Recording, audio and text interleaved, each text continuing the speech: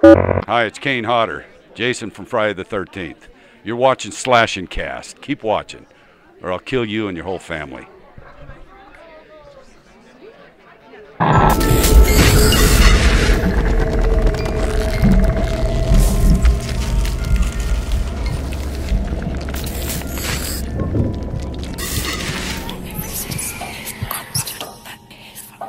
What's going on, horror fans? Welcome back to another episode of Slash and Cast. My name is Riley. That is Nick. Before we get things started, as always, few announcements. First of all, check out our streams. We're coming down to the end of our winter break here, which means this is the last rally of a lot of streams, two a day, good times. Starting on Twitch every day, usually exclusively on Twitch. A lot of times playing Siege for 13th. We're gonna see Call of Duty in there eventually, but Siege has just been dominant lately. It's good stuff. Um, but like I said, that's exclusively on Twitch at twitch.tv slash slash cast, and then the evenings we usually do both of Friday the 13th, of course. And then we have some uh, sub, you know, playing with subs streams coming up very soon. Yes. So keep an eye out for that. Also, make sure you check out slashcast.com. Still getting the grind going in there. Um, still pulling in writers, of course. Uh, but 2018, we're gonna get that website going really strong, and uh, keep it keep a good flow going. You know, maybe we can actually be an actual resource. True. Battle of the games. You know? Yeah. Uh, make sure you check out our Discord server. It's officially partnered. It's a great place to catch all of our content, including every new episode of Slash and Cast when we go live. And it's home to our movie nights. Movie nights are exclusive to our Discord. Um, basically, you know, you sit back and relax. We got uh, we're streaming it on Twitch now. You got three or four movies, usually four now, uh, with drive-in type intermissions and elements in a pre-show. Yeah, It's a lot of fun. It is. It's a good time. So you should be a part of it. Yeah, you know, now that we're we're getting back into school in the next week or two, um, movie night should be more common Yeah, for sure. because we're not going to be streaming as much. Correct. Correct, mundo.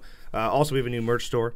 All right, hellojuniper.com slash slash and cast. Get your mugs, get your beanies, get your blankets, get your sweatshirts, all the goodies, slash and cast style. Um, that's also available at slashcast.com. Yes, Good stuff. yes. Um, we're also, you know, working on a subreddit. You know, Reddit is hard. There's a lot of formatting to do, a lot of you know elements to put together to get our videos up. We got our website articles linked to that. Uh, if you, you know, want to go there, it's, a, go it's, there. it's a huge work in progress. Uh, it's reddit.com slash r slash slash and cast. Uh, and if you want to help, uh, just send me a message on there, and uh, we'll see if we can use your talents. Yeah, and this will be the first time I mentioned this, and the last time I mentioned this outside of streams. We have a fan film, a Halloween fan film that was never released. It was shot uh, damn near two years ago now. Uh, held on to it, but we're releasing that exclusively to our sponsors. And sponsoring on YouTube is five dollars a month. Uh, you get a bunch of stuff with that, including a badge next to your name in streams, uh, access to emotes and streams, stuff like that. But ultimately, you're supporting the channel, keeping us alive as we battle YouTube demonetization because we're a horror channel. Um, but like I said, we're it, I'm pretty locked in this to be a one-time stream only. So I want to mention it in Slash and Cast that like we're gonna stream the fan film exclusively to sponsors. So this is like really your last week to get in that sponsor rule, or you won't see the fan film, which isn't a big deal. If you but, but you know sponsors are cool. So uh, if you're interested, link in the description to sponsor. Yes. Really appreciate it. Now let's dive in. Topics of the day. Opening up with Friday Thing the game. Believe it or not, Friday the 13th, the game won Best Video Game in Bloody Disgusting's Reader's Choice Awards, which they do every year.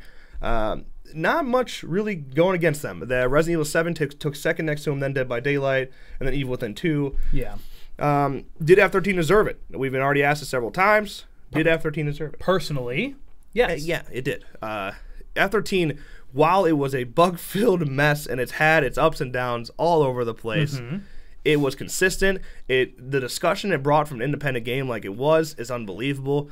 Of course, a lot of that came from the title itself, but taking on a title like that with such a small, two very, very small companies, it, it's quite incredible what they've done. Yes. And I think I think the award they got for it uh, was well deserved. And the fact that both of us can have 800 hours on the game, Yeah. and and, still enjoy it. Yeah, like I mean, legitimately, we still enjoy it. you've heard our uh, our uh, our constructive criticisms, uh, but in past weeks episodes. But if you you could tell on our streams, if we weren't having fun, you would know. Yeah. We can't force that. We're not Yeah. that good at at you know pretending. right? We're not actors, all right. no, so um, you can you know you can see in our streams we still do enjoy it. We may get frustrated, but we still do enjoy. Every game frustrates me. Watch me play Siege. You think I hate F13? Watch me play Siege. Um, yeah, so like we said, personally, we do agree. Uh, you know, no contest with the uh, the other nominees. Yeah, I think uh, yeah, like it's not, not it's obviously not like the best like developed game. Oh, no. but like it, it huge first in independent gaming, Indie like, game, yeah, yes. like in general, huge strides for those. I mean, so many other look at all these games that are starting to push forward now in horror. Yes. which we'll talk about one in a little bit, and a lot of that has to do with Gun Media IllFonic's approach to F thirteen.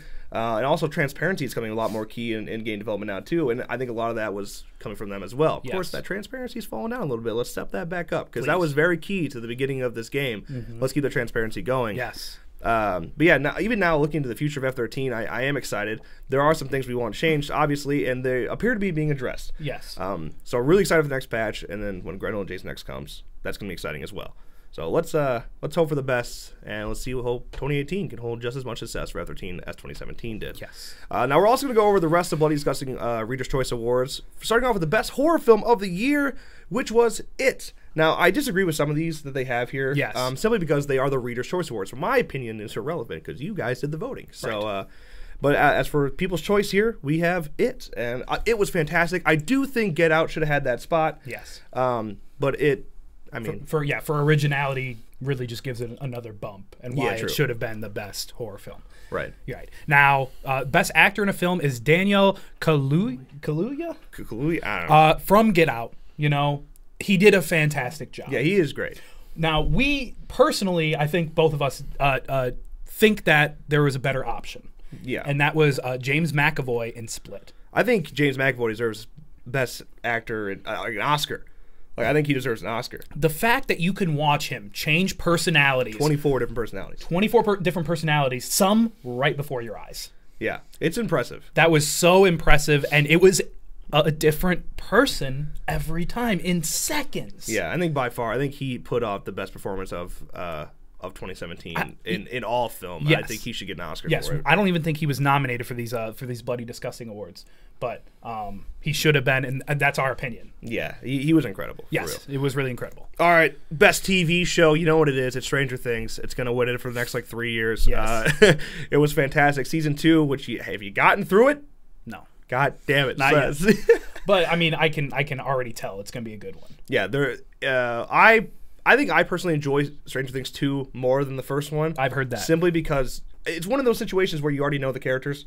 And so you can just really grow with them. Yes. there are there's episode you all know what episode. If you've seen it, you know what episode I'm talking about. Even that, I know what episode you're Yeah, talking about. which is which takes away from it, but you get past that, and, and it's really is cool. Now, So, in, in our personal opinions, there were some other good ones. You know, The Exorcist. Uh, Yeah. Another one, uh, Netflix's uh, series of unfortunate events. Yeah. Personally, we loved season one. Yeah. And can't wait for season two. I mean, slasher, Slasher. could have got in there. Yeah, I, that's one definitely on my list as well. yeah, Uh, now, for best actor in TV, it was Alfonso Herrera for The Exorcist. yeah.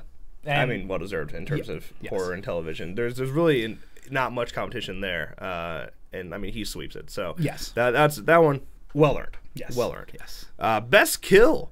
All right. It's, I I mean, Georgie, come on. It, it- the Pennywise killing Georgie, classic. And then taking it from a much more closer to the book approach as they did in the Yes. 2017 it uh, was really cool and well done. I think this was, I don't think there's any competition really in terms of kills this year. Correct. I think, uh, I think it sweeps that one away. Correct. Now, best villain also goes to Pennywise in it naturally. Why not? Yeah. Now it's going to scoop a lot of these, including Best Final Girl, which is Beverly Marsh in it. Uh, yeah, I, I can't really argue against that. You could sort of push, um, if you want to sort of push Get Out, but you can't even do Final Girl for like yeah. But uh, yeah, it. I think there's really no competition. It it had a sweep here. Uh, I mean, best final girl could have been uh, uh, Casey from Split. yeah, That's I think that's really the only other one that I can think of that uh, would is up there. right. In terms of mainstream films, like uh, a lot of independent films aren't getting a lot of uh, cred here, Right. Which I'm, which is why I'm glad they have the best indie film award, which we'll get to in a second. Yes. Uh, so for best scare uh, was the Scarecrow kill when from when the Scarecrow came to life in Annabelle. Uh, yeah, that I agree with this one. 'cause It came out of nowhere. I think actually one of the best scares in Annabelle though uh, came with the light bulb. Yes. slowly turning off. I mean, I like little things. Yeah. Jump scares are lame. But yeah, best scare. Uh, I think we can both agree with uh, the Scarecrow. Yeah, that one's really cool. Yes. And now we're back to best indie film, like I said, which goes to The Void. Definitely well deserved. Independent film this year in horror was actually fantastic. It was the mainstream horror that was a mess. Uh, inde- independent film needs its love too, and I'm glad The Void The Void earned it. It yeah, really you know, hopefully uh, with slashingcast.com, we can, um, you know, put out more reviews and bring more of these indie films, these deserving indie films to light. Yeah, exactly. It's one of the reasons we want to push it so hard. Yes. Um, you know, and now for the last award was best comic or graphic novel, The Walking Dead. Right. I do think Penny Dreadful should have taken it this year. Yeah. But it's all right. Walking Dead, it's always fantastic. And how much longer is it, you know, going to be um, yeah, I, will, I mean the, up there? the the comics they just keep going, bro. Like the Yeah. show, the show is gonna end well before the comics do. Yeah. So, I mean, oh well. Yeah. But uh, that's it this year for Bloody Disgusting's Reader's Choice Awards. Uh, if you want to get a closer look at them, the link in the description to Bloody Disgusting. Really cool though. I will point out though, they, they did they got a bunch of you know horror actors to do little openings for them for nominees, and it was shot at Days of Dead Chicago. We were right there, man. We're- we were we- we are right there. we were there, dog. We were at the show. We saw the bloody disgusting. We saw the black curtain. We saw their curtain. All right. I'm a little upset. Uh, keep us in mind for 2018. All right, let's move on to our next line of news. Halloween. Now, no, no crazy news here. Last we learned Nick Castle joined the official cast and is reprising the role of Michael Myers in the upcoming 2018 Halloween, which is a sequel, of course, to the original Halloween and disregarding to the Resurrection. Yes. Uh, but now we've just learned that Christopher Nelson, who won a Best Achievement in Makeup Oscar for his work in Suicide Squad, has been chosen to lead the special effects department in the upcoming Halloween film. Now, I mean, come on. What a scoop. Yes. What a scoop. I, Suicide Squad, g- go watch. While you may hate the film, Story is lacking. Character development a little lacking.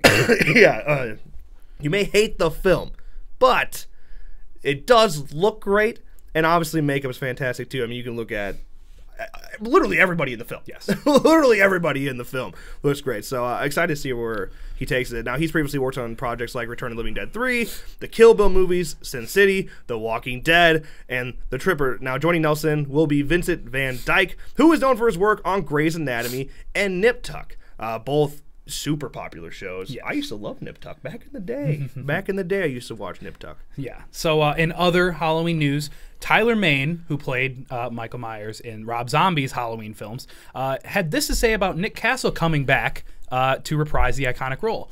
Quote, I couldn't be happier to hear that Nick Castle is coming back to play the role of Michael Myers in the new film. Thank you for letting me borrow the suit for a time. Shout out to John Carpenter, hashtag Jamie Lee Curtis, and all the OG crew coming back to the franchise. Hashtag can't wait, hashtag fanboy, hashtag Uh, so cool. There, there's been some rumors going around about Tyler Mane, Danielle Harris, and and you know like being upset. yeah, being upset. They're not upset. Of course, they'd want to be in the film, but I mean, Tyler Mane should have been well aware that he wasn't. Gonna, Tyler Mane's a goddamn monster. Yes, he is. Uh, and that image, that image of Michael Myers being that big, was a Rob Zombie image, and it wasn't going to make it to the original. That being said, though, Tyler Mane uh, is one of the, the the highlights of Rob Zombie's uh, Yeah. uh, remakes Yeah. and he's just a really cool dude in general. So Yes. I'm glad he's he came out and said something cool like that. Yeah. Good for him. But uh, the new Halloween movie is set to begin filming in Charleston, South Carolina this month. I think they've already started. I think the casting call back then was a bit of a delusion. I think they're they're messing with us. Yeah. Um, I think they're already underway. But as always, we will keep you up to date on all things Halloween right here. So if you haven't already, you know what to do. All right, let's move on to our next line of news. Today is my birthday. Now, Wonder Game Studio has started crowdfunding for the game. Today is my birthday. Today is my birthday is a first-person survival horror game where you take on the role of Thomas, a photographer from the city. Drawing inspiration from classic survival horror games, you cannot fight your pursuers and must use your ability to parkour your way out of a chase and successfully evade enemies. Does it sound familiar? It sounds like Outlast, right? Yes. Um, way different look than Outlast. Yes. But playability seems to play out like Outlast. Right. Uh, so, in Today is My Birthday, hell comes in the form of Wonder Park, an abandoned circus of terror and mystery, surrounded by cryptic history and bone chilling fear. As Thomas, you'll be wandering about the park in desperate hope to find some truth behind a series of disappearances that began after it closed and a way to leave. Uh, so this game was greenlit via Steam Greenlight uh, in mid 2017, and just recently launched their uh, Indiegogo campaign to crowdfund the completion of the game. Yeah. Uh, well, like I said before, it does sound like like, like Outlast, uh, which is why I think people really enjoy it, and you, and you should check it out. They've dropped some really cool things on it. Uh, now, as of right now, they haven't raised all that much money. We're looking at a few hundred dollars out of their fifteen thousand dollar goal. Now, at fifteen thousand dollars, the game will be made single player only as originally intended. However, at fifty thousand dollars, the game will include a multiplayer mode as well Okay.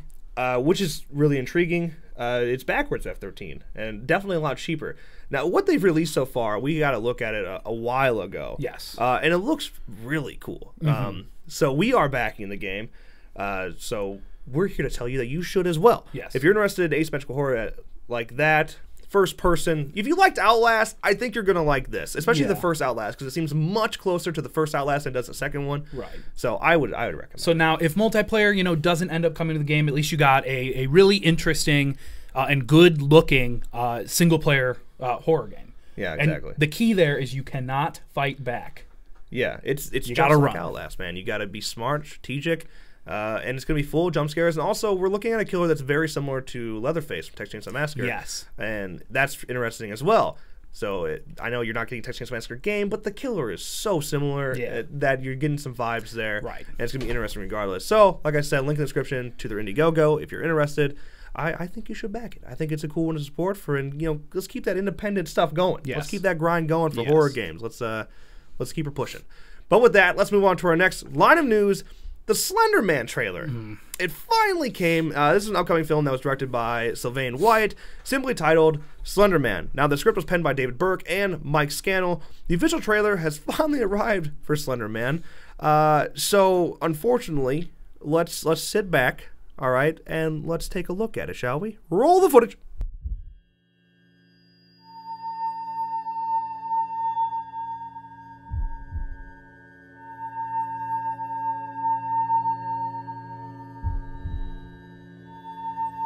Where is my daughter?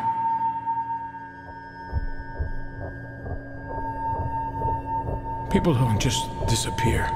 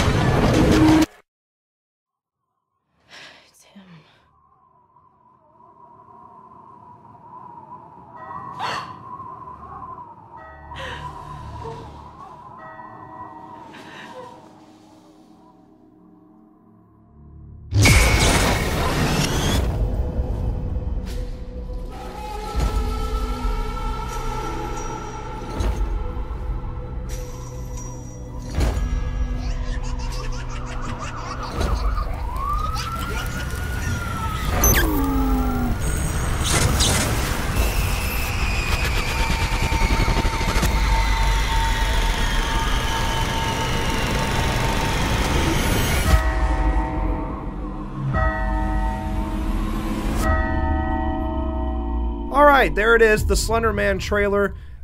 It's exactly what we expected. Yeah. It's bad. It looks really, really bad.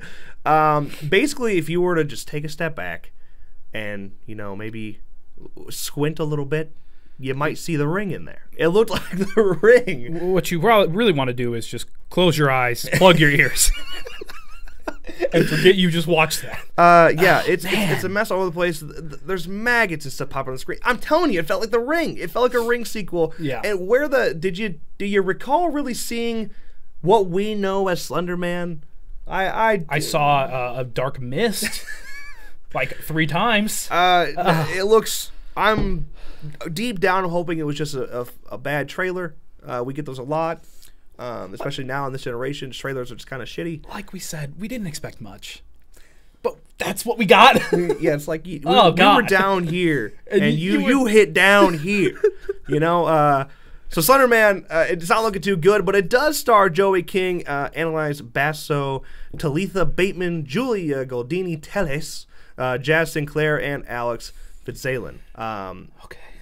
it it just it doesn't it doesn't look good. No. Um, So here's a synopsis for the Slenderman movie. Uh, in a small town in Massachusetts, four high school girls perform a ritual in an attempt to debunk the lore of Slenderman. When one of the girls goes mysteriously missing, they begin to suspect that she is, in fact, his latest victim. you can just just reading the synopsis, you already get an instant sense of dumb characters. Yes. And that's just not a role you really want to go down. uh, the fact that that is the synopsis we have is um I, I can't even find the words to express how bad that synopsis is and how bad this movie uh, is looking right now Yeah, it's we're going down a Bye Bye Man trail. Yes. and, and that like I'm it actually like legitimately felt like Bye Bye Man, and that movie was just piss bad, like horrible. yes now are we gonna get you know to know this the slender man that we know you know notes on the trees No. uh, coming out of nowhere uh TV no static everywhere. yeah no i don't think so no. and uh why The real shame is is that this is mainstream horror right now, which is this is one of the reasons 2018 was so tough because you have one, it's not very original. You're taking ideas from a, a video game that was very successful, uh, and while there is potential there for Slenderman film, don't get me wrong. When you give it to somebody that just doesn't give a shit and they just shit all over it like they did with this trailer, at least what I'm seeing so far, it kills mainstream horror, which is why you got to look at independent horror more than we used to.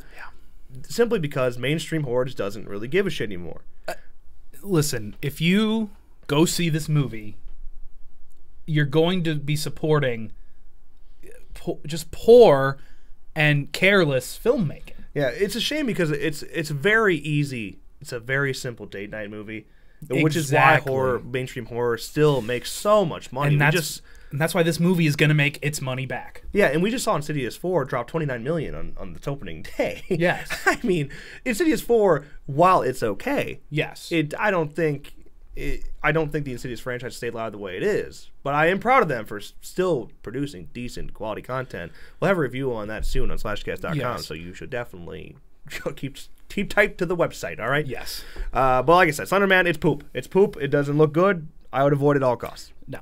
Uh, with that, let's move on to our last topic of the day, which is way more positive. Yes. Okay. Strangers Prey at Night just got a brand new extended trailer, which we're gonna watch now. This one, this one you can don't have to squint, don't have to close your eyes. No, Just get a un- good, unplug your ears. Unplug your ears. Get a good look. Here we go. Strangers Prey at Night extended trailer. Take a look.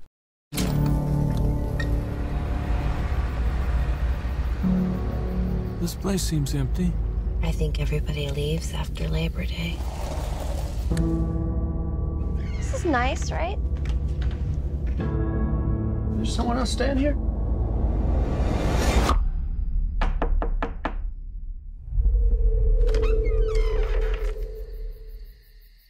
Is Tamara home?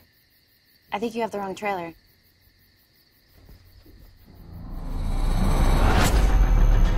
I thought we were all alone.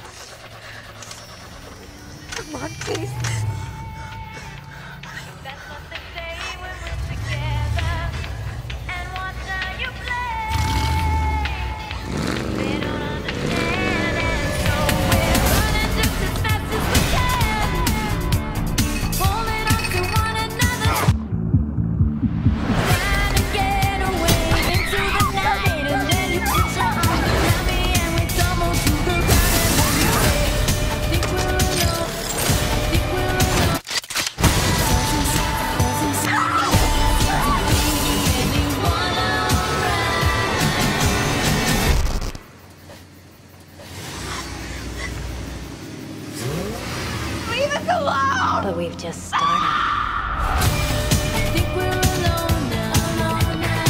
All right, that's a lot better. Yes. Okay. Now there are some little things in there that we could critique. Uh, first of all, I, I think they may have shown a little, little too much. Yes. Uh, that's what we just talked about earlier, man. This this generation of trailers, it always just shows too much. Um, but that being said, it's really it wasn't too bad. Now this is the extended trailer. Right. Now that first trailer that we got that I we talked about t- a week ago, two weeks ago, Yeah. or two weeks ago was it hooked us. It Yeah. really did, and I, I do personally like that better than this extended the- trailer yeah. because it didn't show as much, and I felt like uh, Usually the- goes for any film though. yeah, and the song "I Think You're Alone Now" by Tiffany. It, it never gets old, man. No, no. I fit that. I think that fit more perfectly in that uh, in that first trailer rather than this extended trailer. But it still worked. Uh, it, it, it just that song just puts the trailer together so perfectly. Um, because you know they think they're alone. Right. right. I think uh, this trailer won't give you any more than the other ones did. Right. If you weren't sold in the first ones, you're not going to be more sold now. But the one thing I think that I really take from these trailers as I see more and more of the film, the trailer park element is really cool. Yes. And, and adding that, one, the sense of isolation, the the sense, uh, well, I mean, you, trailer parks, like, wow, there's a lot of very wealthy people in trailer parks.